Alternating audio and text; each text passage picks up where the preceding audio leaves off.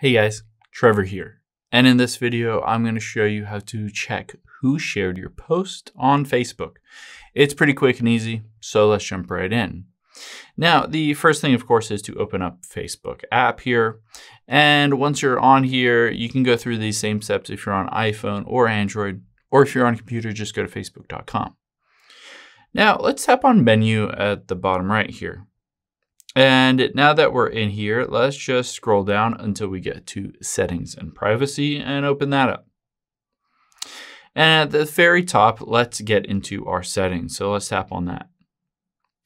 Now we're gonna want to go to our notifications. So right under reaction preferences, let's tap on notifications here.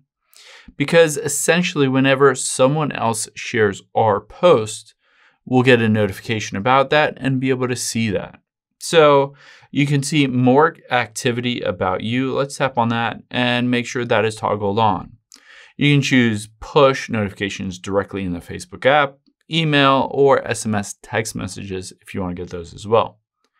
Now that you've turned those on, essentially all you have to do is tap on notifications at the bottom right and scroll through this list and you can hit see previous uh, notifications here and just go through this list to see if any specific person has shared or reshared your post.